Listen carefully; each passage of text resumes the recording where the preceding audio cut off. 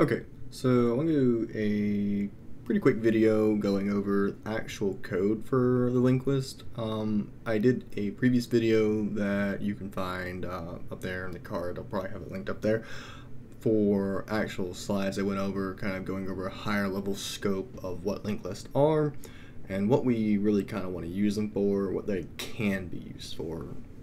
And a lot of that's just kind of having a really extendable, abstract data structure that we can do whatever we want with. And honestly, that's kind of the beauty of is there's no real true one application for it.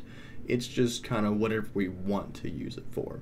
And they're a little bit more dynamic and versatile than something like an array. Uh, they, they really kind of approach a similar use case of vectors. But you don't always have vectors, so if you don't ever have a time where you don't have a vector, then using a linked list is a really good alternative. And I know this is C++, but if you ever use C, creating your own linked list with, say, uh, structs and stuff like that in C is a generally pretty good approach. Now, I'll go ahead and swap over to VS Codium with my code, and we'll start in a similar approach to how I handled the slides video. So we'll start with our simple node class. Now, Again, I kind of went over uh, various classes in the previous video as well, but we have our pragma once, and this is just some C preprocessor stuff. It just makes sure that this isn't included more than one time, not really that big of a deal. But our main point here is that we have some public data, and there's no private data because this is something that needs to be used by other classes, so it's going to be pretty much all public data. And this, it's a very simple linked list, so our nodes are going to be very, very simplistic. There's not a whole lot going on here. We just have a simple integer of data, and then we have a next pointer. This indicates that we have a singly linked list. If we had, say, a node with previous in it, then we have a doubly linked list because we're going to be pointing to the next data, the data, data comes after it, and then the data comes before it. So you have multi-directional linked list as long as it's linear. Um, if it goes anything else, well, you've created a nonlinear data structure and, well, you can name it something else. But for this, we just have a singly linked list. You, kind of look up here at the name, you can see singly linked. But we have two constructors. We have our default constructor here, which is just going to be null data for zero, just empty integer and then our next is going to point to a null pointer. But the more useful one is going to be a constructor that takes in an integer which will populate this object's integer data. So we're going to populate the actual data and then we still have our next to null pointer and we set the actual pointer in our class for the linked list. So whenever we initialize them, we can have them set to something. If you have a reason to do that, you can do that. For our purpose, we're just going to keep it simple and have them point to nothing, and we'll adjust them in our functions where we need to, right? So that's the basic node here. And now we'll move to our actual linked list header file. We have pragma once for C preprocessor, and then we include our node. So now we have access to that class.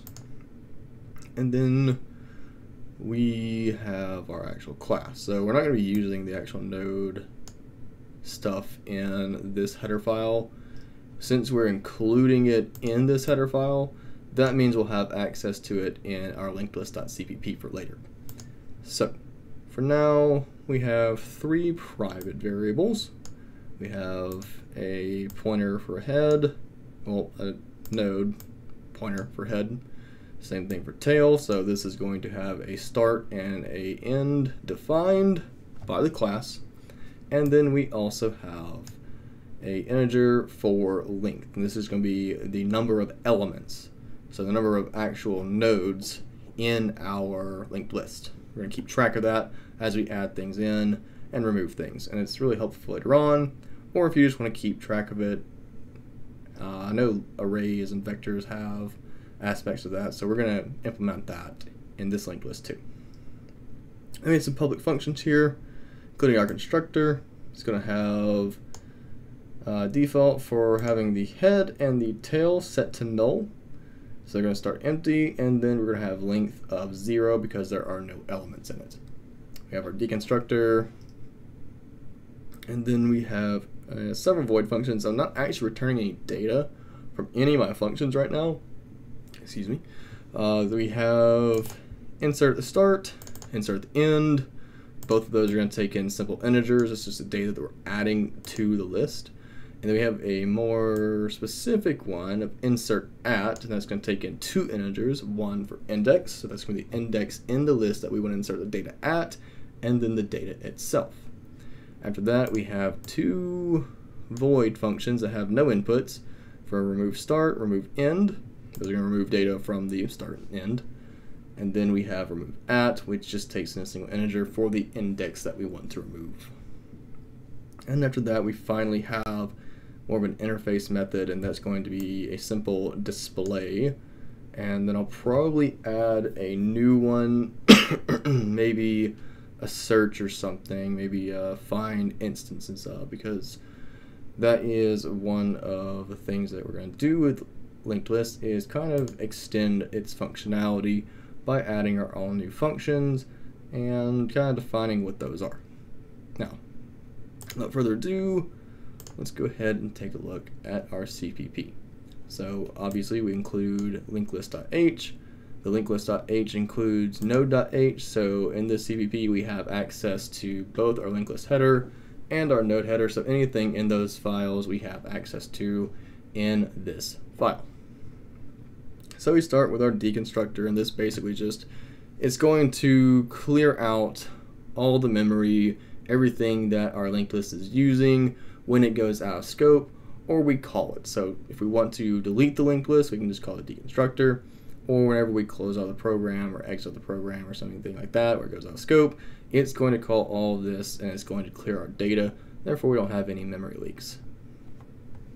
So initialize a node set at the head, so we're going to have a node start at the head, and we're going to continuously loop as long as our node is not equal to a null pointer, which basically means as long as we're inside of the linked list and it has data in it, then we're going to call this code, which is going to set our head to the next head, delete that node, which is our current head, so it's going to basically initialize several elements in the linked list, and as our head is here. We're going to continue on to the next node and delete the original and then continue that process until eventually we're left with nothing but null pointers and then once we are we're going to set the tail to a null pointer and we end up clearing out all the data. Our header and tail are going to be null pointers and we kind of have it back to where it was to begin with and then once it goes out of scope that class will also be deleted and then we should be good. Now moving on, we have insert start. So the most simple way to include data for a linked list is just taking this integer. We create a brand new node that takes in that data. So maybe if I did insert start 5, it's going to create a node with a data attribute of 5. and then we are going to increase our linked list, well, length. So it's going to say, hey, you've added an element, so length will now go to 1. If we add another one, it goes to two, three, four, so on and so forth. And then we're going to check if the list is empty. If it is empty, then we are simply going to set our head and tail equal to our new node, and then we're going to return from the function. Because that's all we're about to do. Now, if it's not empty, then we are going to set our nodes, our current nodes next pointer to the head, and then we're going to set our head equal to our new node. So essentially, I'm just going to come down here. So if we had, say, a linked list that had, say, 45 pointing to 56 pointing null, then, excuse me, what we have is we have our header file, or not header file, I'm sorry. Our head node is here. But we're inserting a new node of maybe say 34. Well, this node next equals head we want the new node that we have, maybe say 34, we want it to point to our head, which is 45. And then we want to adjust the head equal to our new node. So now 34 is our new head. Uh, we don't do anything with the tail, so all that stays the same. So now we've inserted something at the very beginning, adjusted our head, we're good to go. Okay, so then we have insert end, which is very similar. Same thing, we take in some data, create a node off of it, increase the length. Again, check if it's empty. If it is, we just adjust the head and the tail. If it's not, then we have tail next. So again, the same thing. Maybe we had 34 is pointing to 56 is pointing to null. 56 is our tail. We want tail next and now point to our new node. Maybe we're inserting, uh, I don't know, 64. So now we're pointing to 64, which is our new node. Our new node by default always points to a null pointer and then we adjust our tail to our new node. And that'd be kind of how that works. All right. Moving on, we have uh, probably maybe tied for the most complicated function here is going insert at. And this is inserting something at a very specific index. There is a pre-processing pre-processing step that we need to go over but it's the actual insertion and handling of that insertion that is the complicated part. The pre-processing is actually pretty easy, in my opinion at least. So we have two variables being passed in. We have an index and an actual data attribute. So maybe we want to insert at index 1 with data of 5. The first thing we want to do is check if the index is being passed in by the user exists in the bounds of our linked list. So we have a two-part if statement here of index is greater than length or index is less than zero. If either of these is true, that means that the index is out of bounds and it really can't be done. So we're just going to tell the user, hey, index is out of bounds, and then we're going to return. So we're not going to do anything. Meanwhile, if our index is at the start, so if index equals equals zero, then we're just going to call insert start. We've already have a function that does that, so we're just going to call that and let it do its thing. And then same thing for length. If our index being passed in is the last element, then we're just going to insert end. We already wrote that function, should be good to go. But if it is in the middle, then we need to handle it differently. So same thing to a degree, we're going to create a new node with our data. We're going to increase the length, but then we're going to create an instance of a node that is set to the head called current. And this is how we're going to keep track of that. So we're going to loop index minus one times. So we have a for loop that's going to i less than index minus one and then we're going to have current set to current next. And basically if we have something at the head is going to check that. Then it's going to set it to its next pointer so the next element in the list and the next element in the list and so on and so forth until we get to index minus one. So that's going to be the basically place right before the index. And we care about that because we have next pointers so we're going to do minus 1 because we have knowledge of what comes after our current data, but nothing to really do before. So we're going to take advantage of that and just do index minus 1. So here we initialize a temporary node set to the node after our loop. That is going to be the place that we're actually inserting at. And then set our current node to point to our new node, and then set our new node to point to our temp node. So let's see if we can recreate that real quick down here in some text. Excuse me. So let's say we have 27 pointing to 34, pointing to 45, pointing to 56, pointing to no. Okay, so we have just a little bit of text here, and these are our different elements. With our pointers, this is our linked list. pretty well defined. There's four elements in it, but let's say we want to, for starters, if we insert at zero, then it's going to check, it's going to find, hey, you want to insert at the very beginning. We're inserting 18, and it's just going to do what we did earlier and call insert at start. So now we have 18, 27, 34, 45, 56, so on and so forth. But now let's say we want to insert an element mm,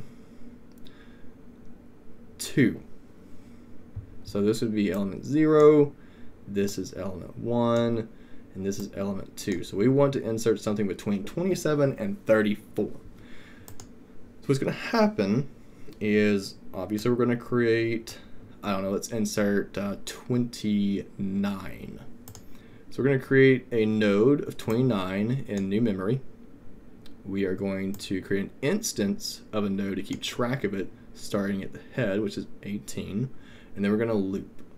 We're going to loop index minus one time. So currently head is, well, currently current is set to the head.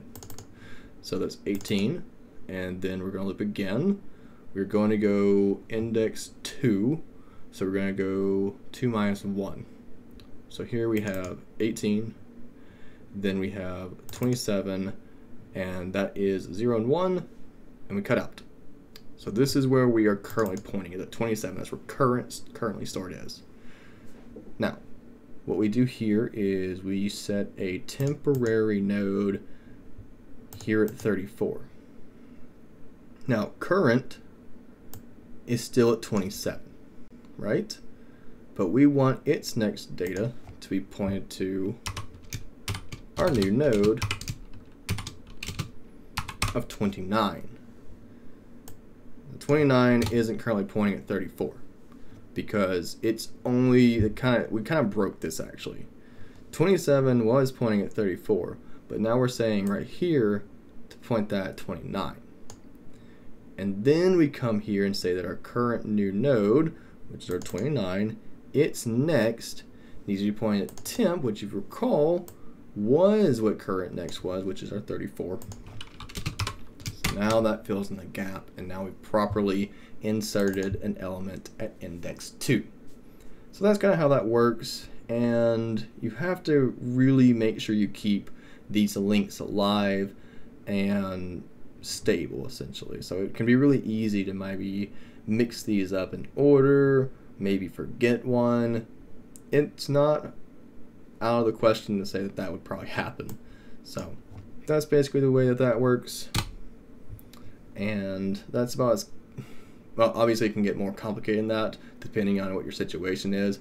But that is one of the more complicated aspects. Obviously dealing with doubly linked list, that is going to be more difficult because you're dealing with previous and next pointers.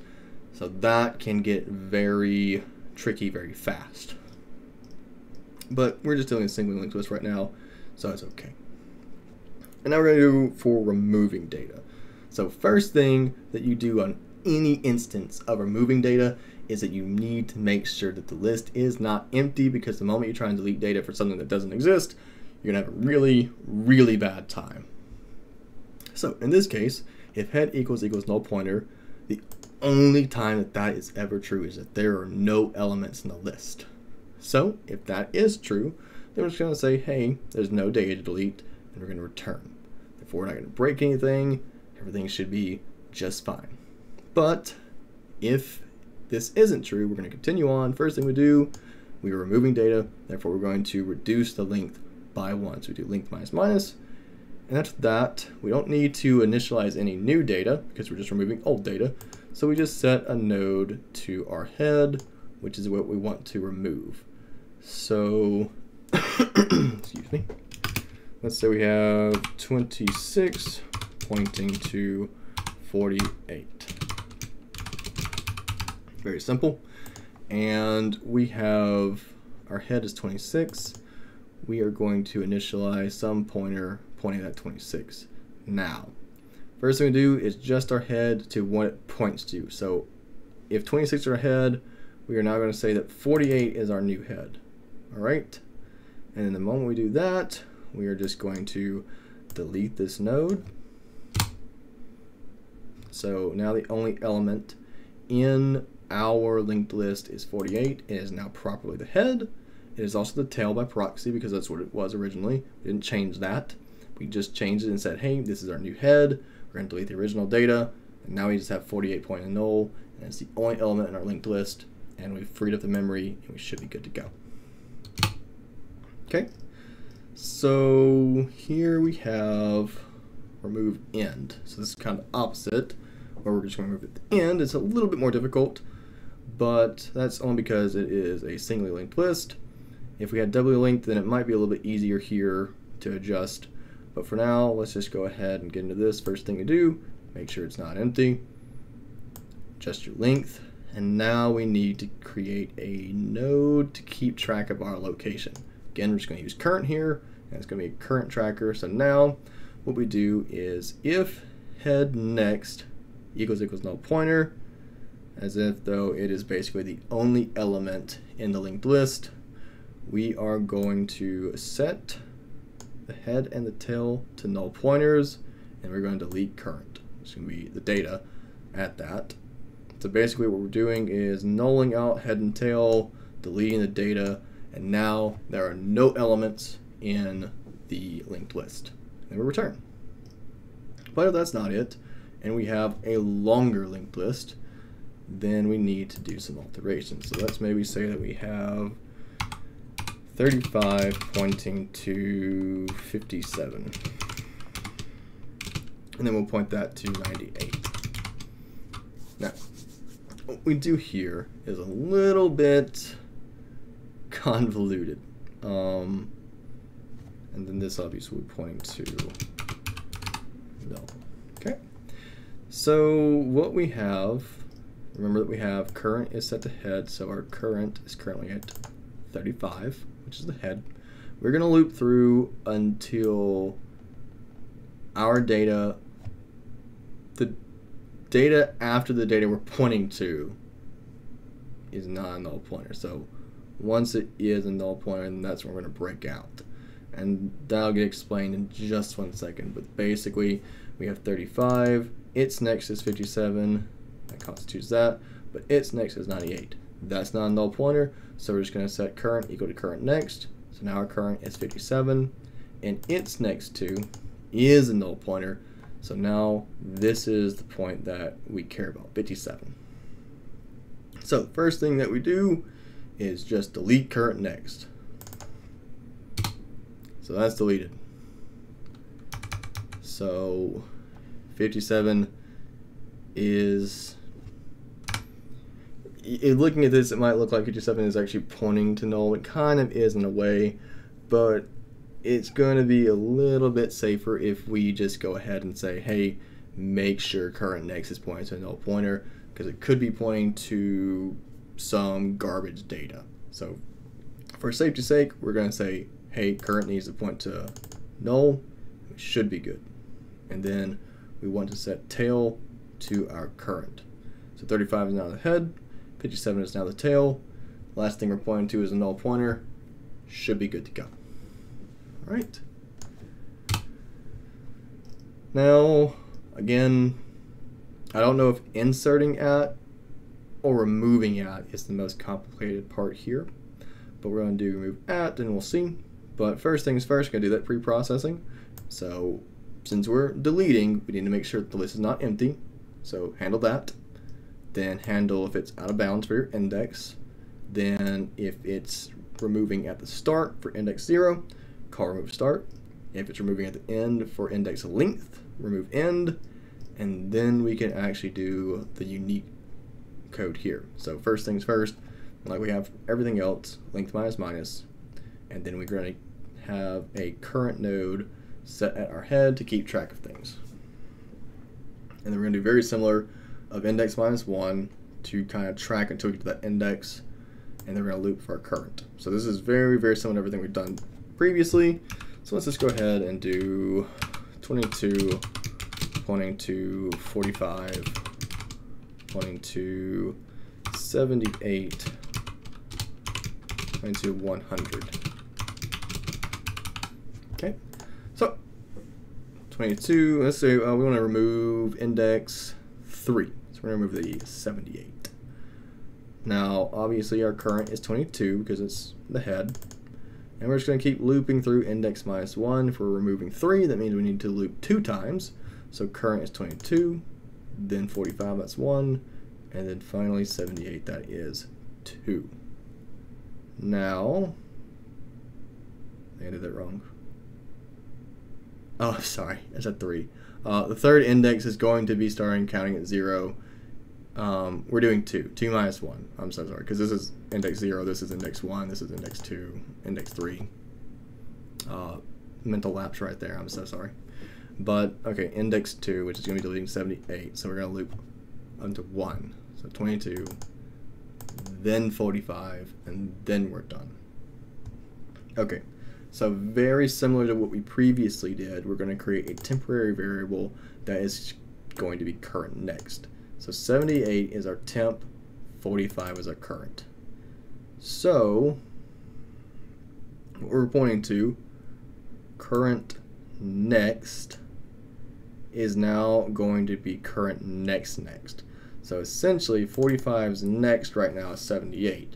We want to change that to be 100. So essentially 45 is now pointing to 100. You might say, well, what happens to this 78? And if you recall, temp is current next, which is 78, and we're deleting that. So we just do that, and we handled 45 point to 100 this line right here. And 100 already points to null, so we're good there. So this is deleting at a specific index, so everything should be good to go right there. Now, the more, I guess, aesthetic one here is just going to be display list. And what happens here is, you've seen this pretty frequently, we're going to have a node keeping track starting at head, and then we're going to loop until null pointer. So this is going to loop through every single element in the linked list. And then we're going to simply cout this formatted data, which is going to be the actual data at our current node. And then we're going to set current equal to next, which indicates that we go from one element to the next. So if we have, say, uh, 12 pointing to 36, pointing to 77, pointing to null, what happens here is currently our current node is set to head, which is 12, and then we're going to start printing. So we'll have 12. Um, we have an arrow here. Um, one sec. I have spaces. Sorry, I'm just trying to get the formatting right. Make sure it's consistent. And then that is going to update current next. So now we're going to print out the same thing, but for 36. Whoops. And then we're going to do current next, which now that is 77. So same thing for 77. And current next, which is a null. Well, current's not going to null, so we're not going to print out anything here. We're simply going to print a new line character. So I guess technically it'd be like this, but it'd be just a enter like that. So this is what the output of our linked list would be. So 12 to a 36 to a 77, and then that's it. So if we wanted to do more with this, it's not too hard.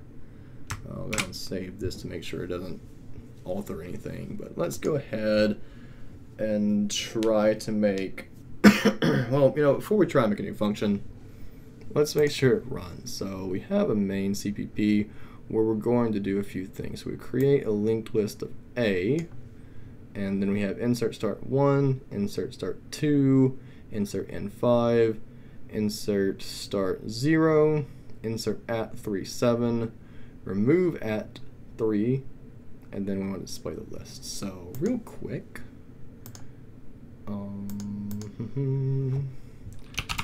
I am going to pile, and then I will simply run and we can see that I have 0, 2, 1, 5. So at the beginning, we insert let's see if we can keep track of this. What happens? We insert at one. So this is a start. One pointing to null. And we insert start two. So now two is pointing to one. And then we insert it end, which is going to be is now pointing to five. Five is now pointing to null. Insert start zero. Zero is now pointing to two. And we insert inserted 3, 7, so we want the third index to be 7. That's going to be 0, 1, 2, and then 3. And then we remove it 3, so that's going to be 0, 1, 2, 3. So just remove the 7 we just added. Not a big deal. And it was 0, 2, 1, 5. And if we look at what we get out, 0, 2, 1, 5. So if we wanted to instead do remove at nothing, we just remove end and remove move at say one. So then I think the alteration here is going to be that seven should still be here we change to remove it in, so this 5 should go away. And then remove it 1, so this 2 should go away. I think we should get 0, 1, 7. Uh, let's see if we do. Save and recompile. And we end up with 0, 1, 7, just like that. Okay, so that's kind of like the general gist of how linked lists work, and a, I think decent in-depth dive at the individual functions and kind of how to alter the main function here to do something with it. Now, obviously, this is very, very minimalistic. It's just creating a linked list object here and then adjusting the data. Obviously, you wouldn't do this as your actual use case for it. You'd actually have something more applied for it, but in terms of interfacing with it, this is kind of how it works. So let's do a real quick sample real quick. What if what if we make a new function um, int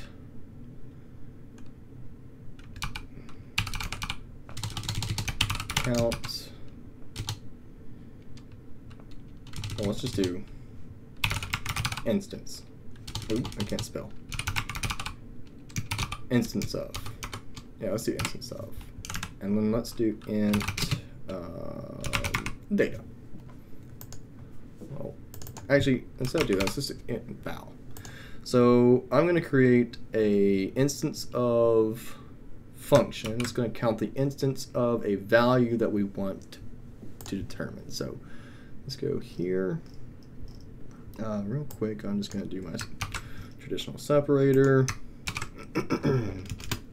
and int linked list instance of int val and what I want to do is actually very lazily basically copy my display because all I want to do is loop through my linked list and keep track of the number of times I come across this value.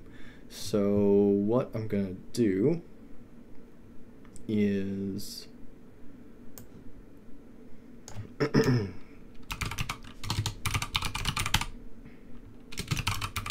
increment counter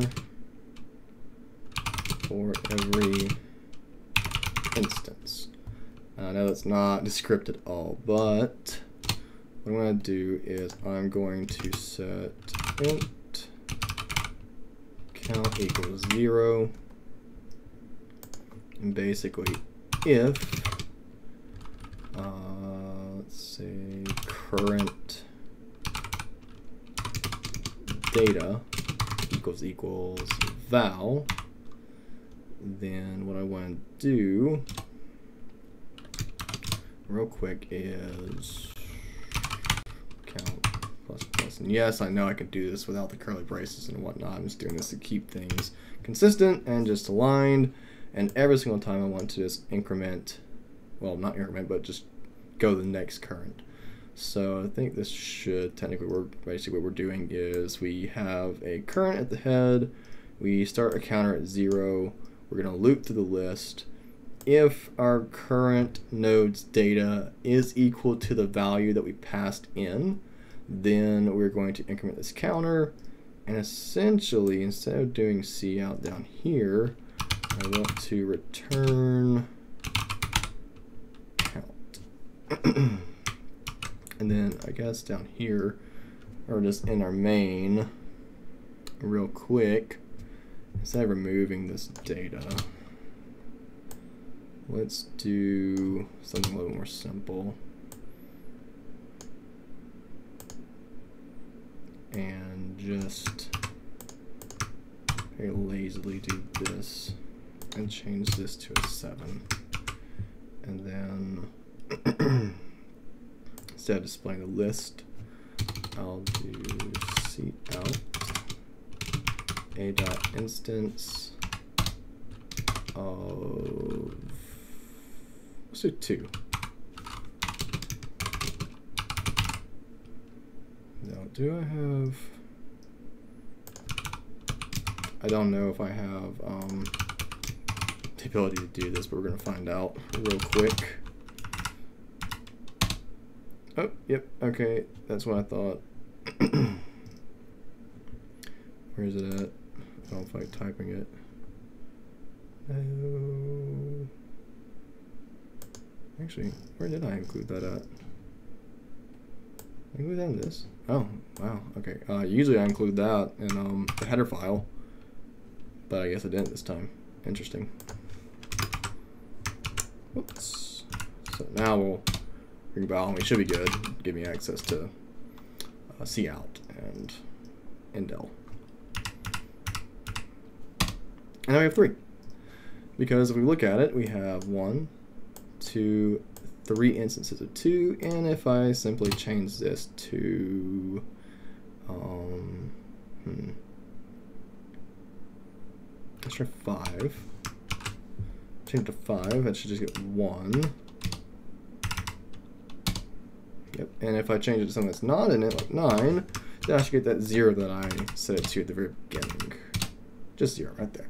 And then if I want to do something a little more maybe elaborate and do int x equals a dot instance of one. Oops. Int y equals a dot instance of say let's two. And then we want to see cout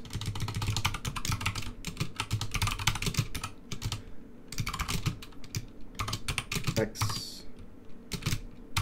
y. Oops, sorry. Window. Out. Oop. Yep. Not using the namespace, so I need to actually make sure I do that. Now I should be good. And now I get 5 because the instance of 1 is 2 and the instance of 2 is 3 and I set them integers because that is what I defined this to be. It returns an integer. So now I added a new function and it can actually count the instance of elements in my linked list. If I want to do one as like a boolean to determine if an element exists in it, I can do that too with a very similar approach. So there's a lot of versatility you can do, a lot of abstract functionality you can add to it, and it's really, really, honestly, pretty cool. I like linked list. I think they're pretty good. Uh, they're not exactly the most exciting data structure, honestly. They're pretty basic, but I think it's a really, really good starting point for everybody to learn. And then you move on to data structures that have more specified application like stacks and queues, binary search trees, and stuff like that. But in understanding that there are structures that we can create uh, through object-oriented programming for C++, I think they do a really, really good job at setting the foundation. So hopefully this explains how they work. Hopefully explains the actual code that's written and that you have access to. Um, and hopefully everything made pretty decent sense. Uh, for now, that's it for me. I'll see you guys in the next video. I'll see you later. Bye.